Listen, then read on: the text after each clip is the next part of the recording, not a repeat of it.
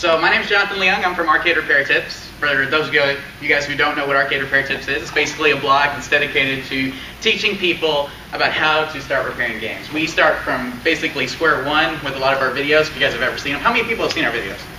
Okay, we've got a couple. Okay, so if you have seen them, they're very, very basic. They start out very, very simple. And uh, I've been doing it with this man here since 2008. We've been running this blog. And we like to think that we do it kind of in the easy, an easy approach that gives you a lot of confidence as a beginner as to just getting your feet wet into repairing games. And so today we're going to be just talking about an overview of what you're going to need as far as basic troubleshooting of an arcade game. And me and Tim have been working on arcade games. I'll just give you a little background on us. We've been working on arcade games since about 2001. Tim was working on them way before I was. He's been working at Chuck E. Cheese for 11 years. 11 years doing arcade repair there. And you also did arcade repair at a local operator when you were a kid. So, and then I came along, I met him, and from there on, we've been kind of a team. We've been teaching each other about arcade repair, and then all of a sudden we thought, why aren't we sharing this information with everybody? So we designed arcade repair tips to share information about arcade repair with each and every one of you guys, plus everybody who goes to our site and watches our videos. Okay, well I think that's enough background on us. I'm gonna let it, let Tim, I like to call him Mr. Arcade Repair Tips, but I'm gonna let Tim take it over from here, and he's gonna talk about basically what happens when you buy an, an arcade game at an auction and you don't know what to do. Maybe it's broken or whatever. So Tim, come on up here and we'll get started. Well, thanks, Jonathan. Uh, again, we never claim to be the guru gods of repair, but we do want to share what we know, and hopefully that'll help you guys some or give you some confidence in working in a game. How many know somebody had to show you, right? You had to, anybody, we were talking about earlier, everybody tried to take a pinball glass out without anybody ever showing you? Right? And the problem that I was facing was growing up. Uh, of course, I remember a guy in our church owned the very first arcade in uh, in my small town, Pauls Valley, Oklahoma, and uh, I thought that was the coolest thing ever. And uh, I would go up there, and he would say, "Go to Radio Shack and pick up this." Remember when you could get parts at Radio Shack? Wasn't that cool?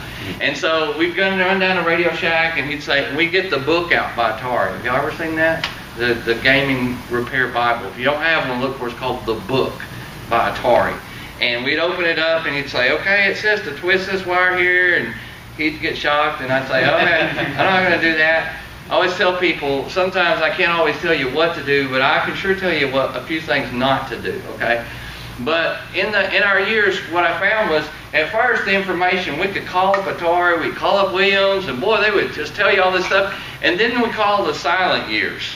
It's like only the super tech guy knew the info, and he would charge you, you know, a couple hundred dollars come out and change your fuse and tell you it was the flux capacitor. Everybody met that guy.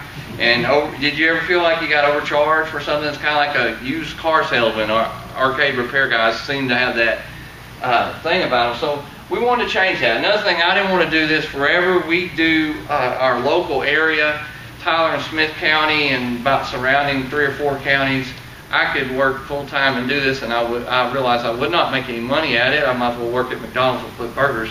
But um, so I didn't want to do that forever. But we wanted to pass on the knowledge. So we started uh, arcade repair site, and uh, we now have over 50 videos on YouTube. We have uh, three DVDs which we brought with us in case you want to purchase them. Uh, we do have some for sale and you guys can buy them if you want. It will help you. The what's included on the DVDs that's not free on the internet is like a lot of the basic stuff and how we got to that point of shooting the video and how we actually change, how we solder, stuff like that.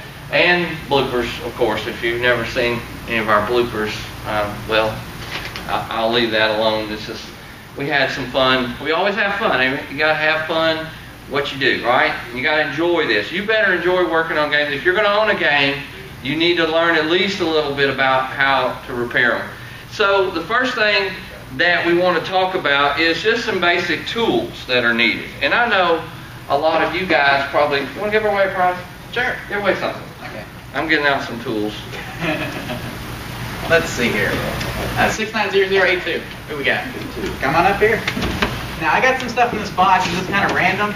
I have some side art. I don't know if you need side art, but we got some stuff in here. You can kind of look. This is our toolbox here. So you can take something out of here, or if you need side art, you can take the side art, or you can take one of those joysticks. You take whatever you want. If you take side art, take two pieces. So, you get one for each side. I have Badlands side art, and I think Street Fighter 2 side art. So. It's always fun when you're traveling two and a half hours trying to remember to bring everything right Tools in there. Helps and not trying to bring too much. Um, everybody knows what this is. This one's about 30 years old, and you can tell it's been dropped a few times. Uh, digital multimeter, right? You need you need one. I highly recommend that you get a decent one. You know, by all means, get something that has a continuity beep test. Everybody know what I'm talking about? A diode test that beeps. That, that'll help you some. Uh, something simple. I, I just like this one. This is a Fluke. Uh, it's just real simple. AC, DC, dial check. You know, you seen those kind that have like 800 different dial settings and stuff. Keep it simple. This this works good for what we do.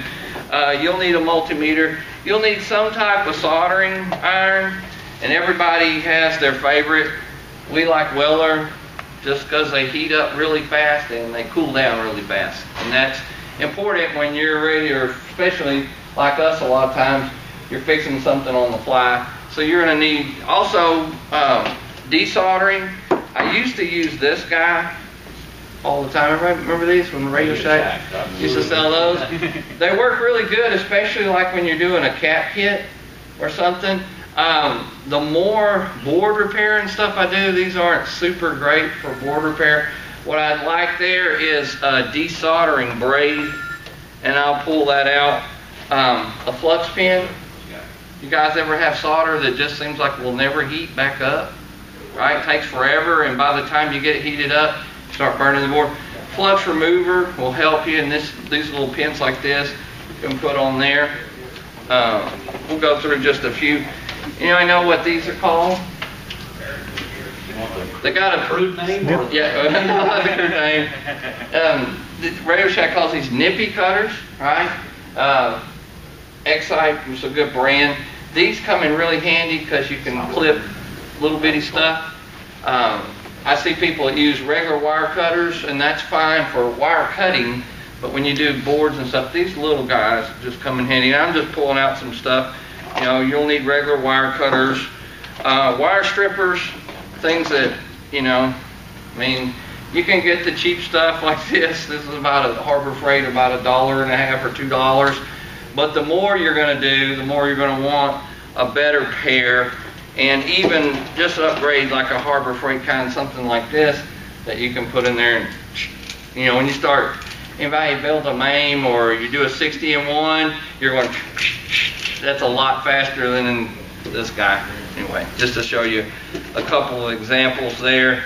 Uh, your other household tools, you're going to need like screwdrivers, um, nut drivers, sockets, and stuff. Needle nose plier.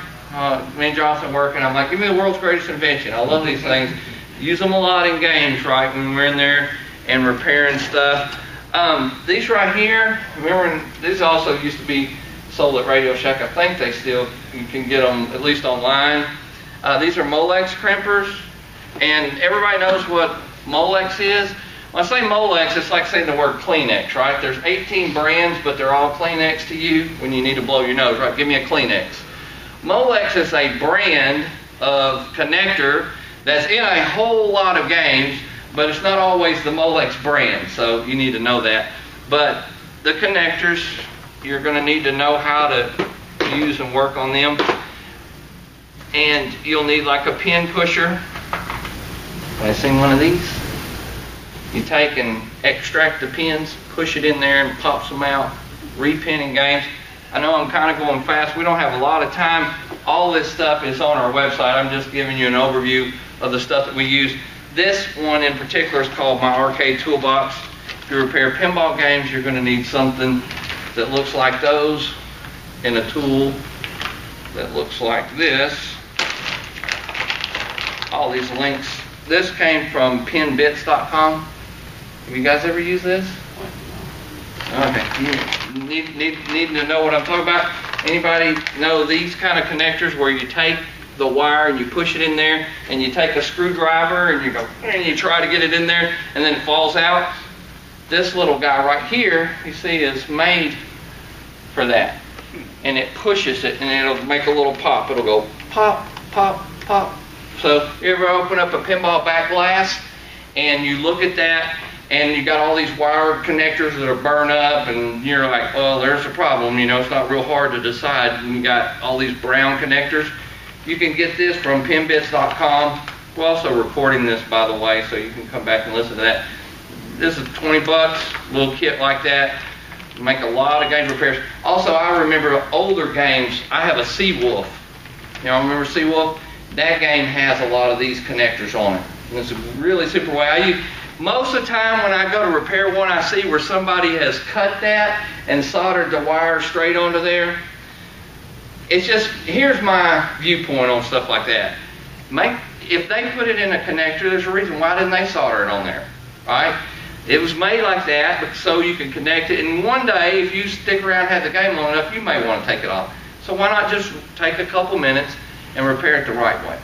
And that's another thing we talk about. Of course, solder. You guys, everybody know they uh, Gina's selling this stuff in there at a good deal, way better. I don't know what his price is this year, but it's way cheaper than you can buy it anywhere else. You can pick that up here. Um, I like these kits like this. Um, everybody knows, you know, kind of a tackle kit. Something I keep a lot of connectors and stuff with me. Uh, also make them for fuses. Okay, and, and, and you know we like it when uh, we go to the game and we open it up and they say it don't work and you say, oh, I see the fuse is really toasty down there. Or they've taken the Wrigley's gum wrapper and that's always a great fix, right? The more I repair games, the more now I don't go, wow, oh, it's only a fuse. Now I go, what made the fuse blow in the first place, right? So begin to get a little deeper in your repair than just popping fuses, but hopefully you do pop a fuse in and it works. Also, games today, everybody knows what this little, y'all seen these little bit sets like this at Harbor Freight or somewhere? Man, um, y'all know the company ICE? They put about 18 different kinds of screws. I think they just open up and throw a screw bucket out there and whatever they pick up. They'll use square heads, Torx bits, Phillips, flat, and uh, so it's a good thing to have these around. And what's cool about them is if you have a quarter inch um, socket or a nut driver, that will fit on there. And that makes it kind of a multi-tool. Or you can get one of these. This is a quarter inch socket I put on here. And that makes a little multi-tool. I don't know I'm probably talking, you guys probably know this stuff, but just in case, right? So that helps especially on those games that have just tons of those types. Give away something else. Let's see here. 84. 84, come on up. This is solder wick. Y'all, everybody here ever use this stuff? The more I repair, the more I love this stuff. And the more I've, I've learned to get used to it.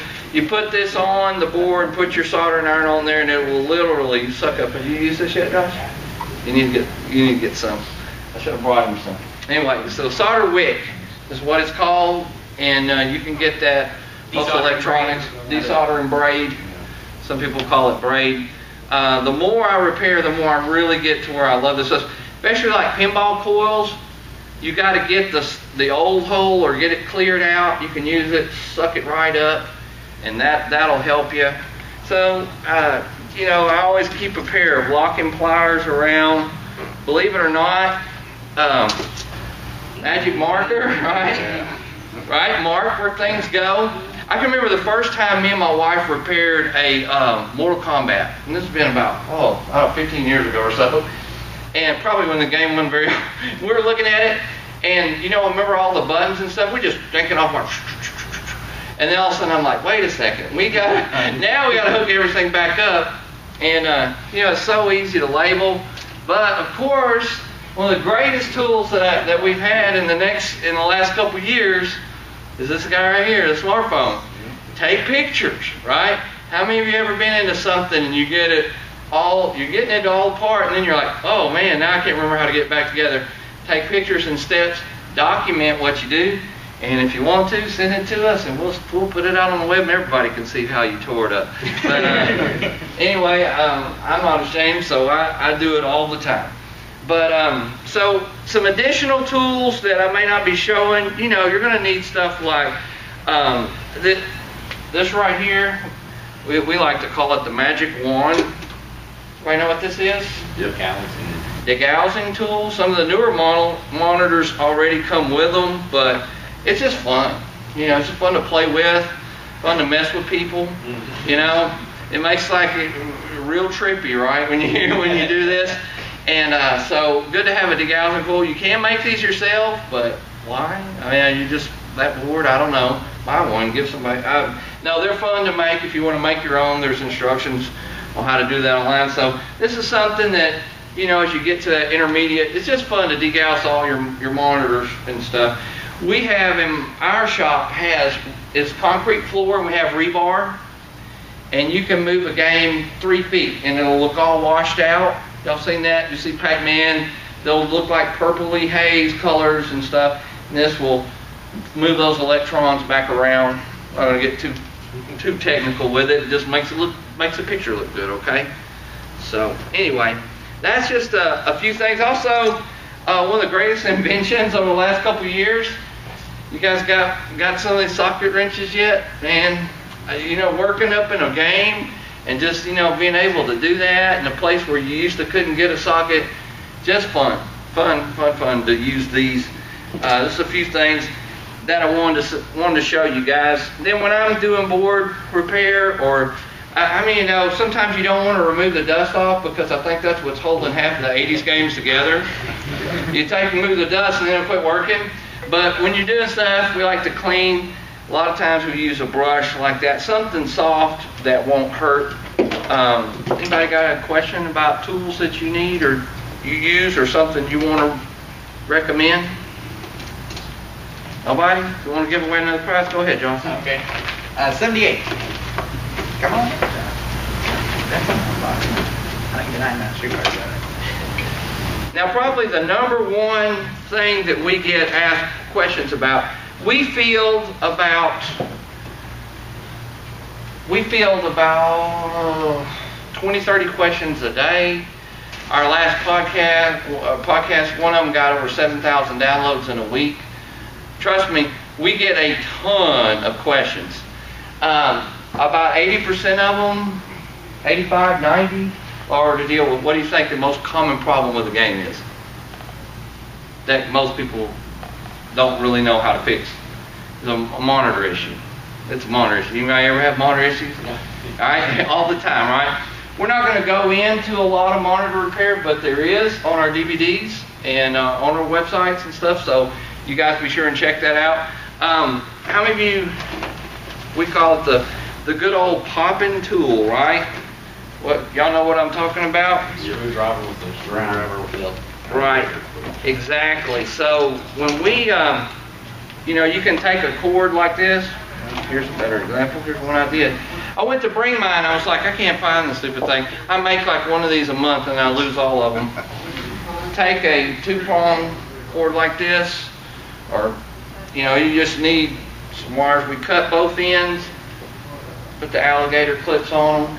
You guys all seen this? Mm-hmm. Okay, you use it. It's always fun the first time, isn't it? The next time we do do a conference, we'll do one on monitor repair, and we'll make all the newbies go pop it for everybody, right?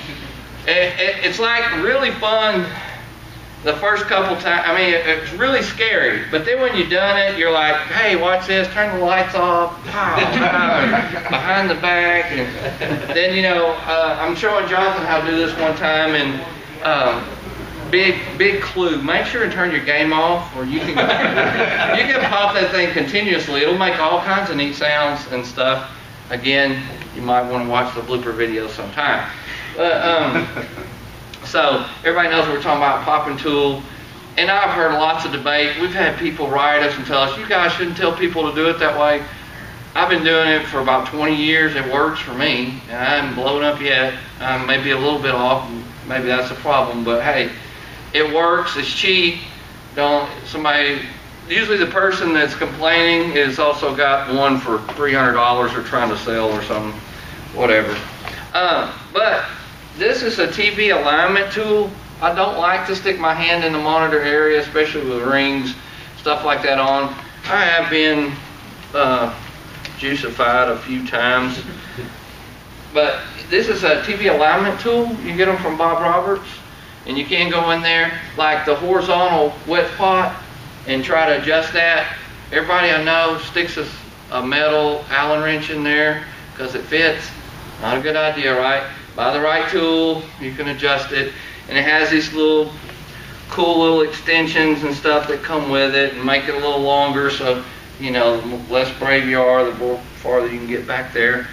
Uh, those are some additional tools. So anyway, we probably covered pretty much as fast as we can go some uh, of the tools of the trade. So if you guys don't have that kind of stuff, um, the first one I did, I bought a tackle box. And I use my tackle box because it has little shelves and stuff. That works pretty good. This one's handy. It's my doctor's bag, you know, when I'm on the go. I just go over there and take care of that. Give away something, Jonathan. We got lots of stuff, not very many people here.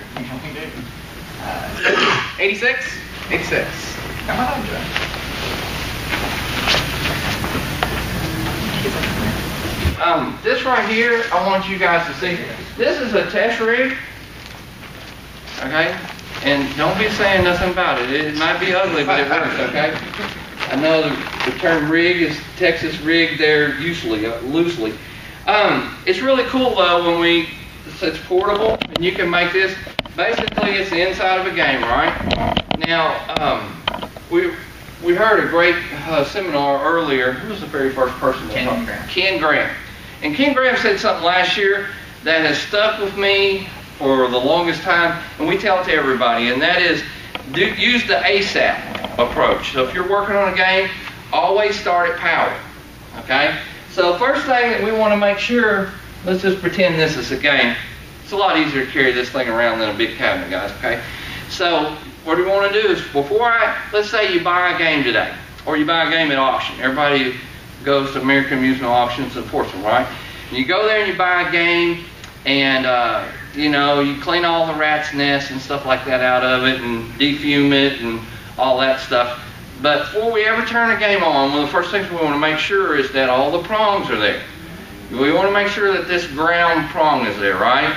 I, I always tell people, I'm not going to be over technical. I know that when they made the cord, it had one there, right? So I don't have to technically know why it's there. I just know if it's got one there, it's probably supposed to be there, and I should make sure it's on there, right? So if the cord is in any way, you know, got some electrical tape like this, I mean, folks, if we can't afford a $3 cord, we're definitely in the wrong hobby, right? So we need to replace the cord, whatever, get that. It's just an example here. So make sure that your cord is in really good shape. So we're always going to start at power. I don't care what your problem is. Of the first things we want to know is how's your power. And make sure that, and I've worked on games, I've probably worked on two or three thousand games in the last five years. So give me a little bit of credit, okay? I mean, Chuck E. Cheese will keep you busy working on games. I've had games that have bad power plugs, you know, so we'll check the voltage coming out of there. We'll check the power cord, you know, make sure it's got a ground. Now, once we've got it plugged in, we're going to take our meter and we can check, we show you how to do this. Everybody knows you want to check your power supply. Always do it first without the game plugged in because if you got a bad power supply, shooting out too high voltage, you certainly don't want to be pumping your board with high voltage or higher voltage than is required. Here's something that we'll do a little trivia. What do most boards, without everybody knows about looking at the power supply, what, we, what kind of voltage are we talking about? Got AC coming in, 5 or 12, Negative five. right, negative 5, going out. It's not very much. A 9 volt battery we all used to suck on when we were a kid and stick our tongue on it, right? So we're almost, 12 volts is almost that. When you're doing this in the winter and sneaking up on your wife or something and touching her, that's about 2,000 volts. Yeah, that's why it hurts, right? That's why I go pow. So we need to be careful when we're working around this stuff. If 2,000 volts of static electricity, imagine what it'll do to a game board, right? Or a chip on the board or something. So I'm not going to show a lot of stuff, but you know, you should be in a secure environment. I don't show it enough on the videos. You should wear a ground strap. As much care as you can take to protect that board is good. But anyway, here we have a 60 and 1 board. Now, who knows what this is? Uh, the PS1 is a little, for a car or you take it. Right. This is a PlayStation Portable 1. If you can ever find one of those at a garage sale or something, pick it up because I'll show you something cool that it does. It runs on 15 kilohertz. What's what's important about that? Uh, uh, frequency of a CGA monitor. Right, an older school monitor. So, if you get the wiring right and hooked up, you'll be able. I don't if everybody can see this. Nice. Okay. What's important about that? when I'm repairing one of my games in my garage, anybody ever stuck a chair and put a monitor in the chair? Uh, okay, I'm not the only crazy Two one. games back to back. Two games back to back. Okay, I, I, I'm- I got some Oh, yeah. real Texans in the room, just like me, right? I mean, you better redneckinize. We gon' we gonna hook it up. But this is a lot easier to take on the fly. So I just wanted to show you guys this part of our test rig. And uh, as soon as it boots up here, a sync wire right here, kind of come unsoldered on us, but you guys can see it, or you saw it. Stick it in there. Anyway, you make a little connector, runs off 15 kilohertz, and that's how you, you have gain. I'm going to spend a lot of time on that guy. Like the test rig, simple, but I can take their board out of their game, if it's JAMMA, hook it up. Oh, it's not your board. Hook it up. Take my monitor, hook it up to their game. It's not your monitor, or something like that. That's just a couple of ideas. This is just good for you to have too. I can set this down on the bench. It's got all the player buttons and stuff. So this is something everybody can easily make. My friend Stan made this one. Uh, the sound actually works. We unhooked it because it was really loud earlier when we were testing it. And, uh, you know, just took an inside of a game and kind of put it here. So that's something that you guys, anybody got a question about that? Just wait for me to give away some more prizes? Go ahead, John. 80 it looks like. Come on up. Help yourself either a tool or anything. Oh. That's yours. Well, TVs. We got just about, we'll take about five more minutes and we'll take some questions because maybe you got some game problems we want to discuss.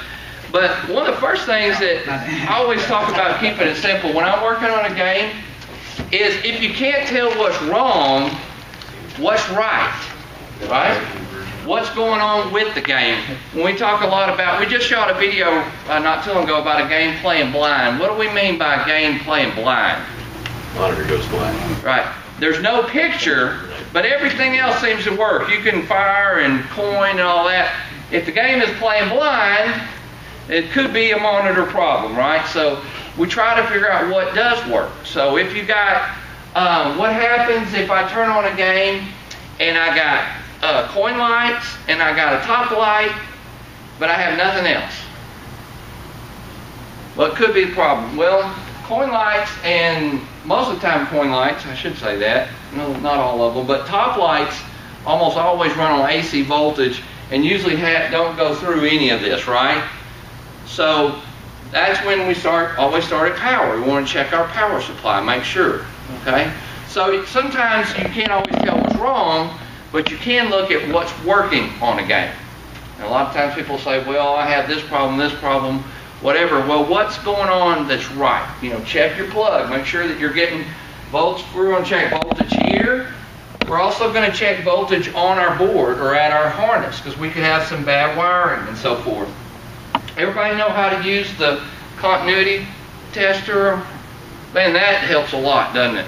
You can check the wire, start at one end of the wire, go the other end or dial check, see if it goes to zero, make sure that it beeps, you know that your wires are good. Wiring, big time, these wires, you know, it's so cool when Kim was talking, these boards and games, they never expected us to be using, playing with them 30 years ago. They had one purpose, to make as many quarters as they could in the next couple years, and then they figured they'd end up in a landfill, and they didn't care, right? We're the only people that really care. We're the only people that, that so the fact that any of these games still work with the same wiring, same stuff. Um, so always start there. Look at what works. Um, always start with the obvious. Always tell people, you know, look for places that, you know, where there's smoke, there's usually fire, right? So you learn to learn to use your eyes and learn to have a look. Uh, you know, in the Navy, when they uh, when the Navy pilots would go out before they would take off. Anybody here flew in the Navy or know some? I just knew a Navy pilot one time. He said they would always make them go out and look at the engine. Why? They weren't mechanics. They had no idea. What they would do is they looked at that engine every time, and pretty soon they got real familiar with it. That way, if they ever come out there and something didn't look right, they might not notice what they would notice when something was wrong. Okay? You understand that they weren't mechanics, but they looked at enough good stuff. So you the more you look at games, trust your eyes. Trust your instincts sometimes when it comes to looking at stuff. Now having said that, trust your meter more than your eyes, right? Because sometimes fuses will look good and so forth. So trust your meter even more than you do trust your eyes. Give away something, Jonathan. We still got stuff to go in.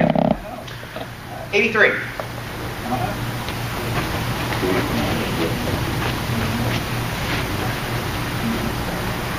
The last thing that I want to say is just when you don't know, ask for help. Don't be hard-headed when it comes to working on games. How many of you, I mean, you know, I, I, am like that. I still ask for help. I learned something new today working on, uh, on Williams stuff. You know, don't get to the point where you're so confident you're boastful or proud that you, you know, that you can fix anything because we all need help. And be sure and ask. It's the only stupid person's the one that don't ask, right? So that's why we have a resource.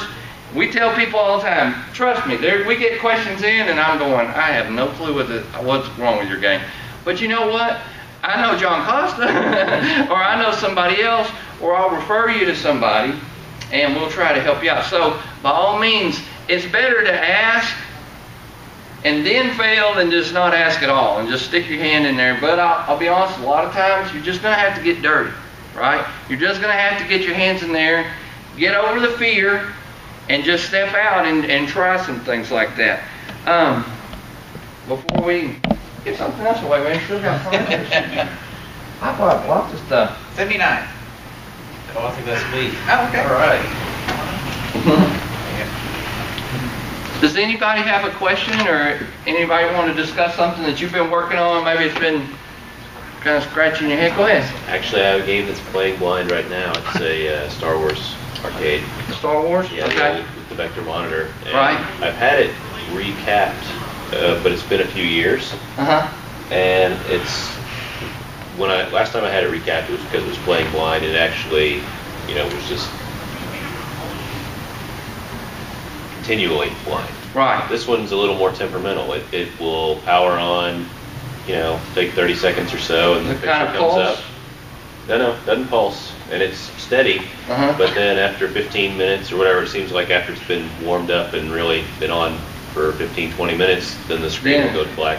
But again, it doesn't stay off. It'll stay might off come for back. a minute or two, and then it'll come back, and you know, Generally, when you see that, it's, a, need to get it's usually a, it's usually a filter cap. Yeah. That's probably why I fixed it the first time. I And that's those little bitty caps. yeah. That's genuinely what it is. Here's a problem that we're running into everywhere, and you guys may be aware of this. About five or six years ago, about ha- half the caps that come out were from China and were bad.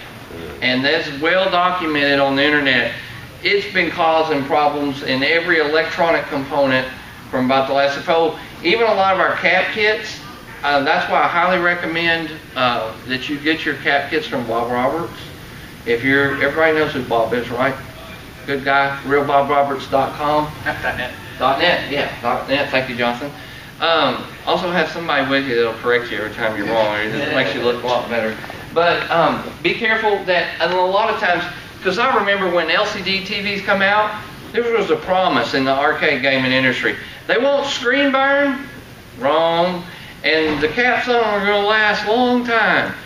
No, no, no. We and I have done, already done uh, cap kits on a couple games for that, so it may be time to redo. Uh, even again, they just were some junky stuff, or you got a bad connection somewhere. I would. The first thing, go ahead. I Well, I was just gonna say, that the, is, the last time it just seemed to go black, that was it. This time, you know, the symptoms being different, that it'll come on and then go off. That's why I think it's a filter cap this time, Okay. uh, which which is filtered without getting real technical. And I, I'm not going. I, I can't do it anyway. I just know that that's an indicator. What I've seen, little bitty caps in your power supply area of your your monitor, you might start there. Uh, but it also could be a bad solder joint. If if you've ever seen our videos of Michael, Uh, especially the extended cut, the first thing he does on every single monitor he repairs, and he repairs a bunch of them, flips them over and just starts touching up solder everywhere. So go ahead. Well, I was just gonna say, I mean, with regards to it being something loose and that it's, it, even if it is loose, it's still obviously partly connected to the solder. Yes.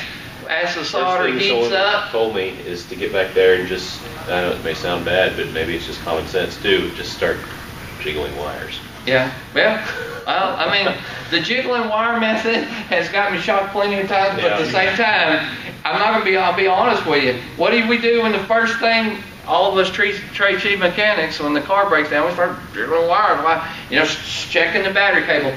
Sometimes that will help you determine where a Determine where it loose is, connection right. is, and especially in your power lines going in. That's the first thing he'll do if he was to work on your monitor. He'd flip it over and he'd start touching up the solder on.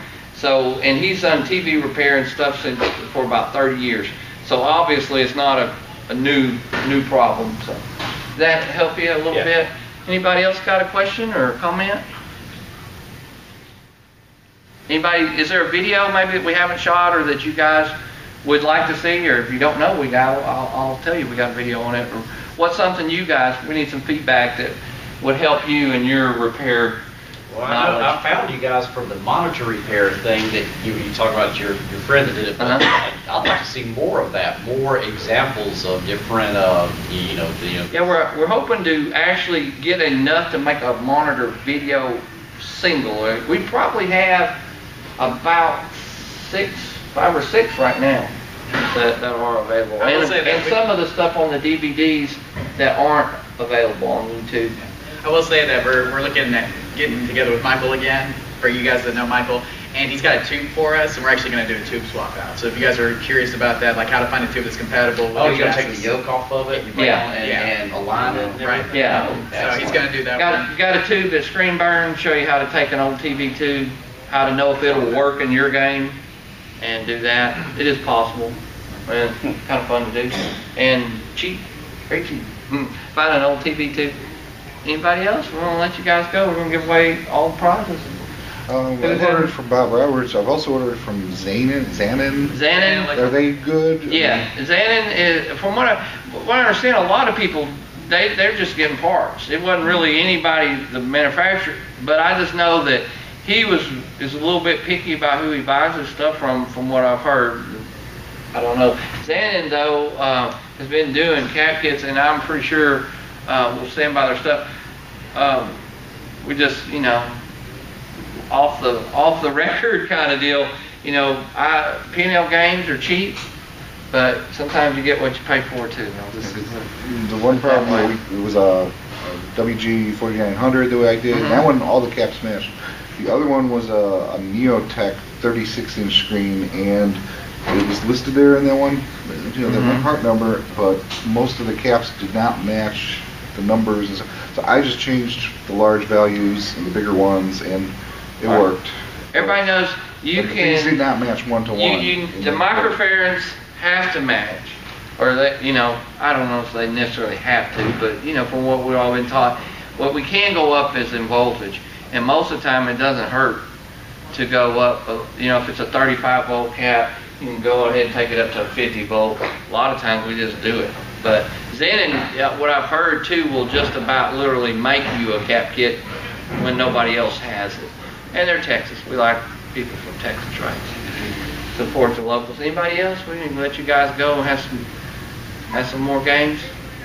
Well, Jonathan, you wanna? I think that's it. I wanna make sure, um, who, who hasn't got, got something yet, come up. Yeah, if you haven't gotten anything yet, come up and, and Come up and. We have some pick a prize, we got plenty of stuff. If you need a, if you need a Happ ultimate joystick with heavy spring, brand new, got that in there, still got side art, you guys grab whatever you want, whatever's left over. Thank you guys for coming. Good. And enjoy the, enjoy the.